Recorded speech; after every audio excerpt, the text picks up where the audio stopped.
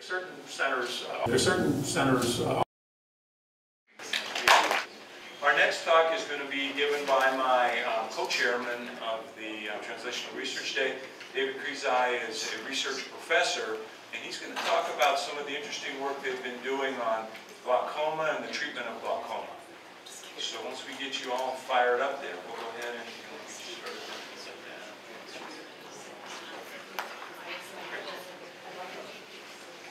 So, uh, co-chair that has been AWOL most of the time, so sorry about that. Um, yeah.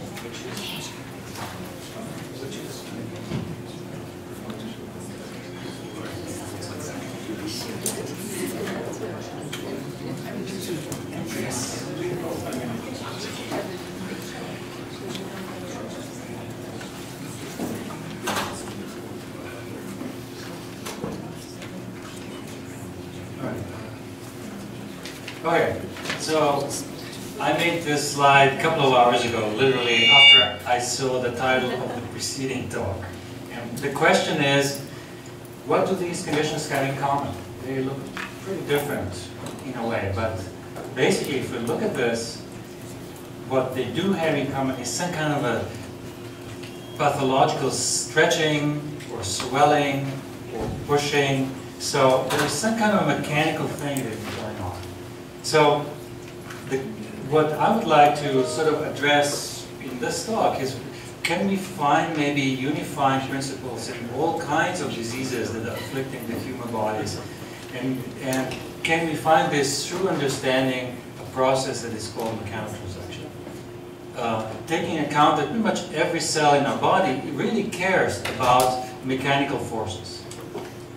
If, if we look at the eye, for example, it is a highly mechanical act, mechanically active environment. So uh, I went to Arvo this year and there was a poster showing that just rubbing our eye or blinking or get, getting up from the bed increases our intraocular pressure to hundreds of millimeters mercury. So uh, there is swelling going on, activity-dependent swelling, there, there is pushing, there is stretching, there is the effect of hydrostatic pressure. So what I would like to leave you with is this idea of this being a highly mechanically reactive environment. Pushing uh, can cause uh, corneal opacification and so on. So uh, there are all kinds of pathological phenomena that have a very, very strong mechanical component. And uh, what we are interested in many of them, perhaps most, but what I'll focus on is glaucoma. Basically, when we think about glaucoma, we think about two things. First of all, first is how is IOP regulated in the front of the eye? And the second thing is what is actually going on in the back of the eye? How do these cells sense pressure? Do they sense pressure or do they sense stretch or what is actually going on? This has been a million dollar question. Thousands of papers have been published and really we have gotten no closer to the answer.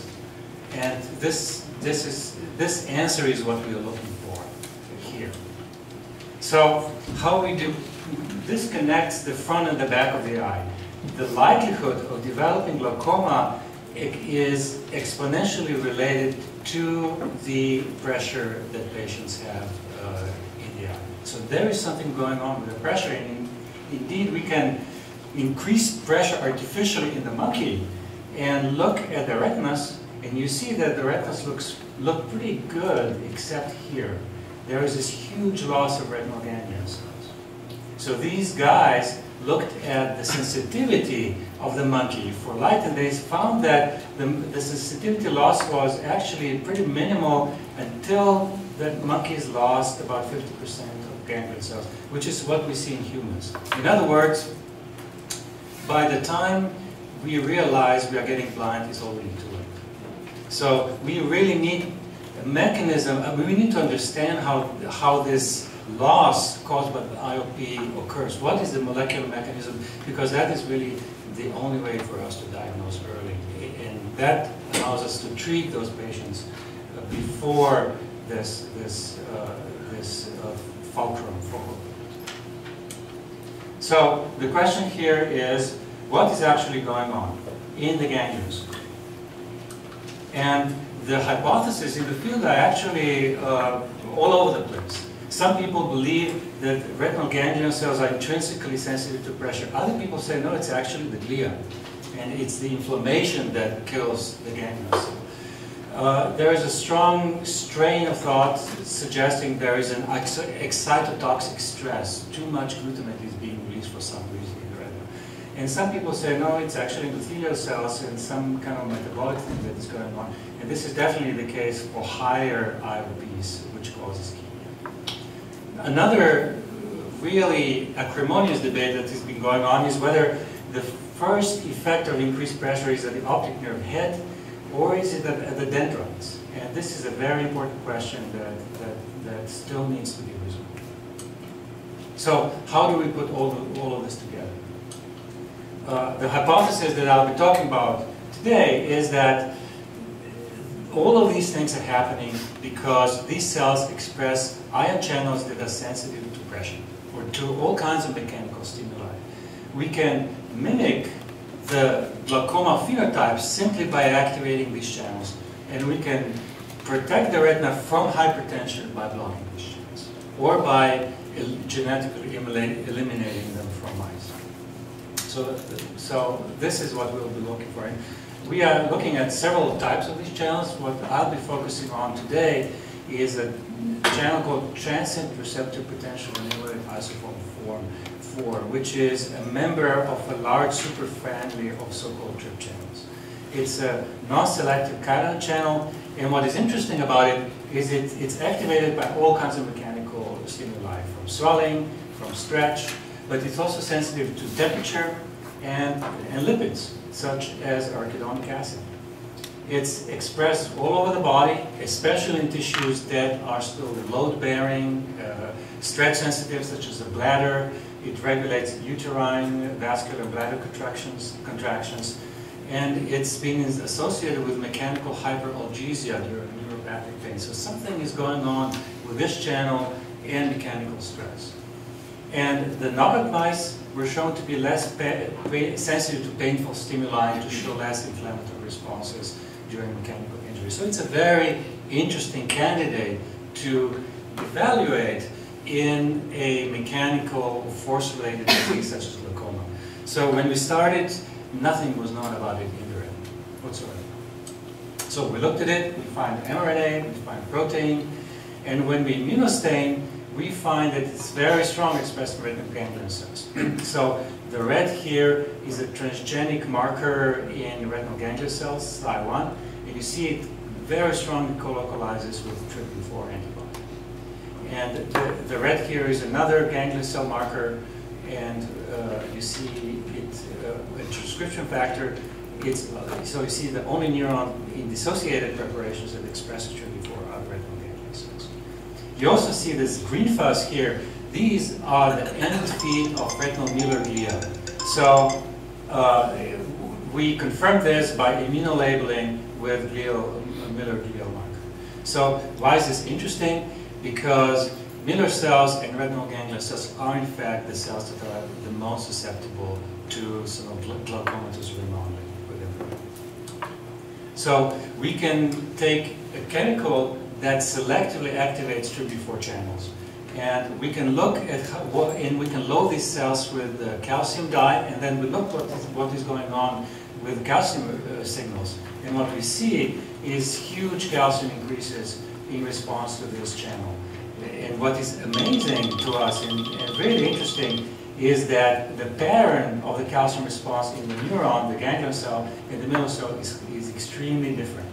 So here it desensitizes very quickly, and in the glial cell, the signal is huge and stays on for as long as the stimulus is going. Now, what happens to the light response of these cells when we stimulate with this putative um, um, mechanical uh, channel uh, agonist. So this we are recording an intact uh, retina whole mount. this is a cell that responds to light with spiking and turns off during light off, and you see in the presence of agonist the cell goes crazy. The excitability goes on like like uh, it's turbocharged.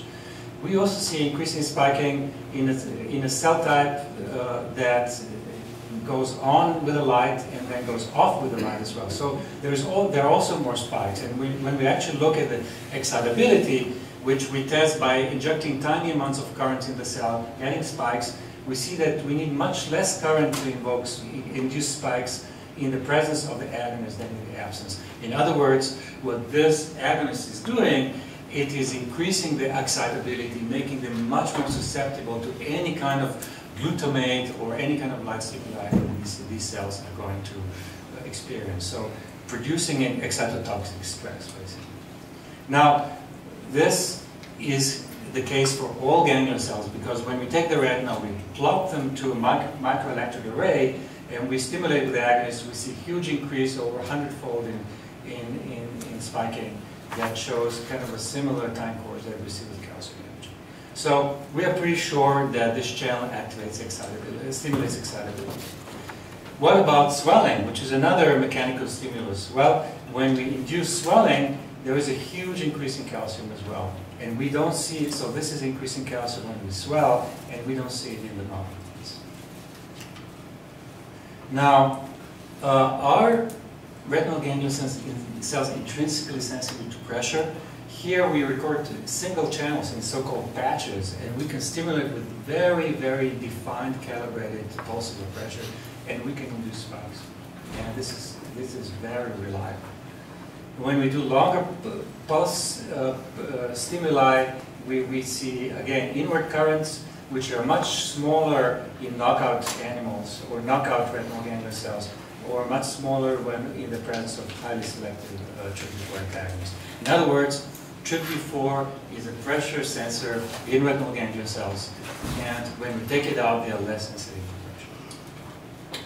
Now, can we mimic glaucoma, or can we mimic sort of pressure-induced retinal cell death simply by activating a mechanosensitive channel? The answer is yes. So when we inject the agonist, this is the control eye, this is the uh, eye injected with the agonist, there is a huge loss of retinal ganglion cells. So we can actually reproduce the mechanical phenotype simply by stimulating, a chemically stimulating the mechanosensitive channel. So what about this question about dendrites versus the optic nerve head? I would like to say that this is something that we are still investigating right now. We don't have an answer to this, but when we culture cells and we, we can see the dendrites and we can get localized increase in the dendritic calcium level. So we are pretty sure that this is a way to regulate the synapse formation in the, uh, in the inner plexiform layer. And the, the, newest studies published in Journal of Neuroscience are showing that indeed the first changes in response to elevated IOP may in fact be synaptic. However, when we look at the optic nerve head, the immunostaining is also extremely strong. So it's very likely that by stretching the lamina cribrosa in primates or the glial lamina in mice, one would activate this channel. So we, we stretched the substrate. We have a machine that allows us to do that very specifically. We, we can see huge calcium increases in retinal ganglion cells that are missing in about 70% of, of, of, of, cells. In 30, we still see some calcium responses. Now, uh, so the knockouts, knockouts show less uh, calcium increases. Uh, TRPC1 knockouts, this is another type of mechanosensitive channels, uh, don't, are not uh, susceptible in TRPC1 knockouts, but all of them are susceptible to um, the selective antagonists of TRPV4 channels. So in other words, we hypothesize, we propose that TRPV4 is actually a mechanosensitive channel that is sensitive to pressure and that is sensitive to stretch, and that might ostensibly mediate the effect of hydrostatic pressure both at the dendritic and uh, optic head. So this is kind of a, a, a very simplistic model of what we're thinking.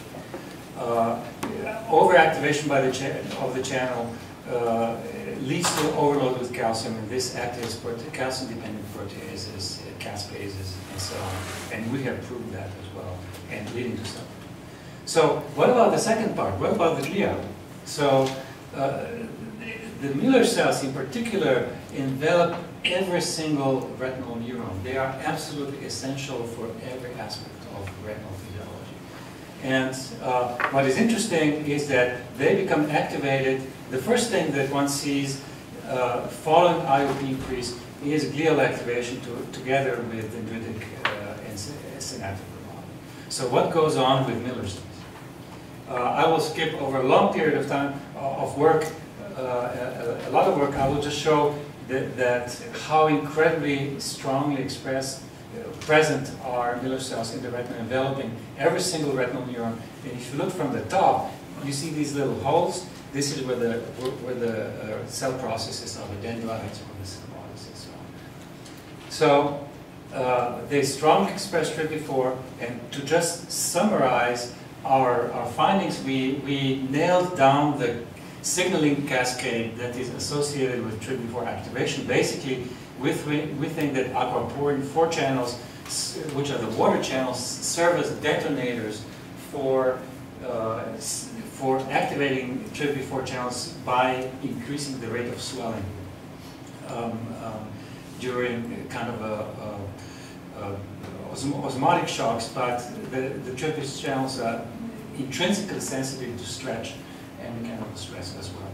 So um, we are 100% certain that TRPV4 channels are important uh, stretch sensors for retinal Now, what about glaucoma? Uh, when we induce chron when chronic glaucoma in certain genetic model, uh, mouse models or acutely elevate IOP by injecting microbeads in front of the eye, we can get reactive gliosis of these Müller cells. So the question is, can we reproduce this by activating this putative mechanosensitive channel? And the answer is yes. There's a injecting this agonist induces huge reactive gliosis. So basically, in other words, we can reproduce key retinal elements of glaucoma simply by stimulating a mechanosensitive region. Now, what about treatment? Can we, can we protect by uh, systemically treating uh, uh, mice with antagonists or by eliminating the gene? And the answer is yes. So this is a normal uh, eye treated with PBS. This is eye that has experienced elevated IOP. You see there was a very significant degeneration, about 20% loss of RGCs, which you see here. In, in mice that were systemically treated twice a day with a high dose of TRPV4 antagonist, there was no degeneration. We did this many, many times in, in dozens of mice, and we think this is a fairly solid result. So somehow blocking the mechanosensitive channel blocks that degeneration that we see. Now, that when we got this result, we were very thrilled, but we started to worry that maybe the effect is actually not at the ganglion cell. What if we are regulating pressure itself as well? So we tested this by, so this, this is injection of microB to see elevated IOP in, in, in mice. And when we systemically inject the antagonist, you see that the IOP drops like a rock and stays down for as long as we keep injecting the antagonist every couple of days, couple times a day. So, in other words, not only is TRPV4 expressed in the retina, it is also expressed in the front of the eye and it's regulating IOP. Why is this fascinating? Because this would be a way to treat both at the same time, regulate IOP into neuroprotection. So uh, we can get even a stronger effect when we intraocularly inject, uh, inject uh, the antagonist, and you see this lowering lasts for days. We also designed eye drops here at the University of Utah, and these are also effective uh, lasting for, for a day or two, so better than current eye drops. So the important question now is, where is this channel in front of the eye? Is it in the ciliary body which produces the fluid, or is it in the trabecular meshwork or the, the maxillary muscle where that mediate outflowing, you see that trabecular meshwork is much more important because the higher you go with IOP, the more load is, is going through the trabecular, trabecular meshwork. Unfortunately, most of the current glaucoma drugs are tar- targeting the uveoscleral component. So there, has been a very strong push of, lo- of looking at trabecular targets. So we published two papers this year showing that it's expressed in both, very strong. And we localized it to non-pigmented epithelial cells, and so we did a huge amount of work uh, on on the molecular, physiological, uh, genetic kind of methods that I will skip over today, just to make point it's expressed in both. But we are, we're more, we, for various reasons, we think the trabecular component is more important. So when we do so-called pressure clamp studies, we see that uh, pressure, that, that uh, trabecular meshwork uh, cells are highly mechanosensitive, so the ramps of pressure uh, in both directions induce currents, inward currents. And when we stretch the cells, we see calcium increases that are blocked by the TRPV4 antagonist. These increases are dose dependent. This is uh, statistics. But what is really beautiful, and here we were saved by a collaborator who can mimic the conventional outflow in, in nanofabricated devices that have been populated with trabecular meshwork cells. You can do, you can perfuse through that, and this has been shown exhaustively by them to be perhaps one of the best in vitro models for conventional outflow. So basically, when we do that, we find that the antagonist is highly uh, effective in increasing the conventional outflow facility. So this would be really one of the first drugs that is uh, that might be targeting um, conventional. Um, in other, um, uh, in, if you look at the pressure, perfused pressure, on the other hand, the agonist increases it a lot. So this means that the the the pores in this nano device are are um, much smaller because of activation of this channel. This is exactly what happens in humans when you increase the pressure. The trabecular meshwork cells become stiffer, the cytoskeleton and extracellular matrix become upregulated. This increases the contractility, which further increases iron. So, is this the case in, in, in terms of TRPV4 channels? The answer is yes, because we can stretch trabecular meshwork, and you see the actin cytoskeleton and the focal adhesions get upregulated like crazy. So we can mimic what has been shown in human primate animal glaucoma at the molecular level. So we also looked at these nano, nano device, na- nano device conventional outflow models, and we see that um, the agonist, TRPV4 agonist itself, can reproduce the upregulation of actin and upregulation of extracellular matrix. And this is highly uh, suppressed in the presence of these uh, TRPV4 antagonists. So uh, the model here is that increasing pressure in front of the eye uh, imposes some kind of a mechanical stress that activates TRPV4 channels, leading to increased stiffening of these cells and contractility, which increases outflow resistance and, and maintains or increases elevated value. So uh, what we're doing currently is we are nailing down the, the very kind of specific components of the cytoskeletal mechanism that link the internal cell cytoskeleton to the focal adhesions and to extracellular matrix. Some things go up during pressure and stress, some things go down. And another fascinating uh, approach that we are using is we use FRET probes, so fluorescent probes that function as force sensors. So basically they are stretch sensitive and by looking at changing fluorescence, we can tell how much load is imposed on the cell as we are pressing, uh, as we are pressing or as we are doing any kind of manipulation. As, as, you can, uh, as you can see here, the load or the strain is mainly at the, at the focal adhesions. So this is, nobody has done really before that in, in the eye or, or the brain. So this is really an exciting way to go forward. So I won't go into this, but this is what we're thinking is the mechanism that regulates uh, the outflow resistance at the level of trabecular meshwork cells. It involves uh, uh, uh, CYP450 enzymes.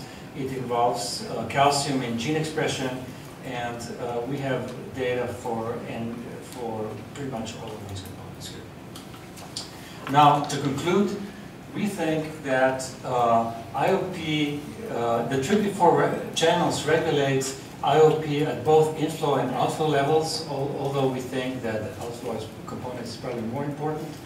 We think that they also regulate the uh, remodeling that happens during mechanical stress in glaucoma at the level of ganglion cells, the neurons, and glia. I didn't talk about microglia, they also have these for channels and they also are very stress sensitive.